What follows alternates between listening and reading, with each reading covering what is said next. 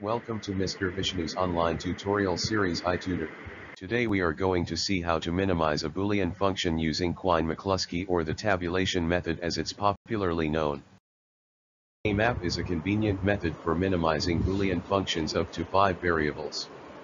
But, it is difficult to simplify the boolean functions having more than 5 variables by using this method. Quine-McCluskey tabular method is a tabular method based on the concept of prime implicants. We know that prime implicant is a product term, which can't be further reduced by combining with any other product or sum terms of the given Boolean function.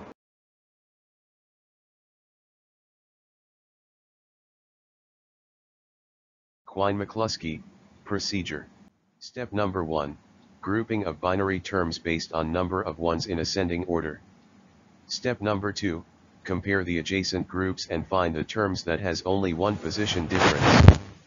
Step number 3, repeat step 2 until no further reduction is possible. Step number 4, draw the prime implicant table. Step number 5, find the essential prime implicants. Step number 6, draw the reduced prime implicant table and find the reduced prime implicants.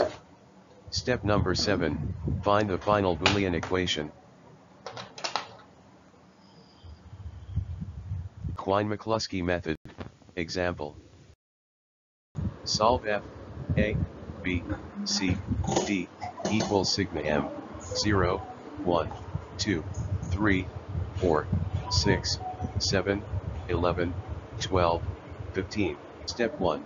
Arrange the given minterms in an ascending order and make the groups based on the number of ones present in their binary representations.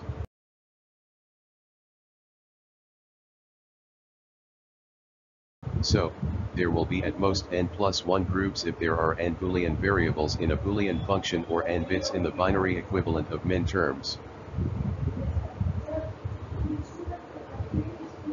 Step 2.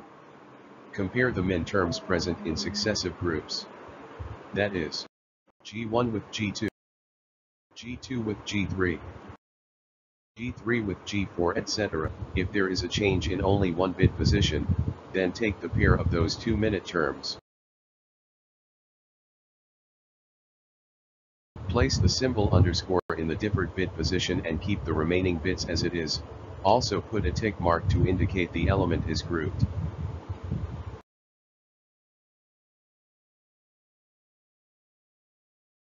Let's finish the grouping as per the instruction we have seen earlier, at this point we would advise you to pause the video and try to complete the table yourself. Grouping can be done only between adjacent or successive groups, so let's start with G1 and G2. Comparing 0 with 1, we can see the last bit has the difference.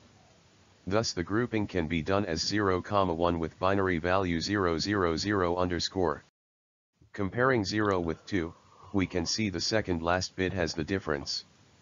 Thus the grouping can be done as 0, 2 with binary value 00 underscore 0. Comparing 0 with 4, we can see the second bit has the difference. Thus the grouping can be done as 0, 4 with binary value 0 underscore 00. Now let's repeat the same process for G2 and G3.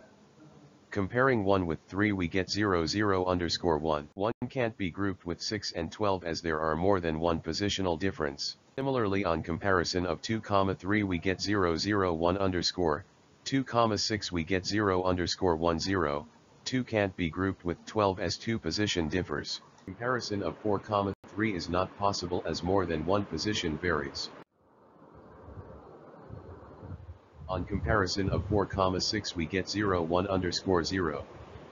4 with 12 we get underscore 1 0 0. The results will look as shown in the table after all the possible elements are grouped together from successive groups. Here minterm 12 is not grouped with adjacent group element 7 or 11, but since it's already grouped with 4 a tick mark is placed. Similarly there is not adjacent group for 15 but it's already grouped with 7, thus a tick mark is placed. Step 3. Repeat step 2 with newly formed terms till we get all prime implicants. Note. If an element is not able to be grouped, instead of tick mark, use a cross mark. Once all elements are grouped in such a way, further grouping is not possible and the cross marks for non-covered elements is also marked. Look for redundant terms and strike them out. Step 4. Once the tick mark, cross mark labeling and striking out of redundant elements are over, use the non-stroke and cross mark terms to formulate the prime implicant table.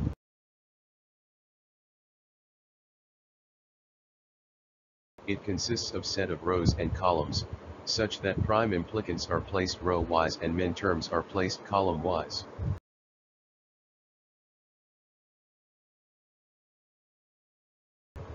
Place asterisk in the cells corresponding to the min terms that are covered in each prime implicant. Step 5. Find the essential prime implicants. Observe each column, if the min term is covered only by one prime implicant, that is our essential prime implicant. Only one dot in entire column, then circle the dot, the corresponding prime implicant is the essential prime implicant, meaning the equation cannot be further reduced. These essential prime implicants will be part of the simplified Boolean function.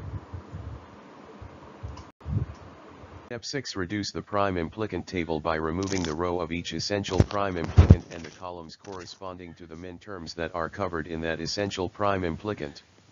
Look for min terms which can be selected, such that they cover maximum non-covered variables. Stop this process when all min terms of given Boolean function are over.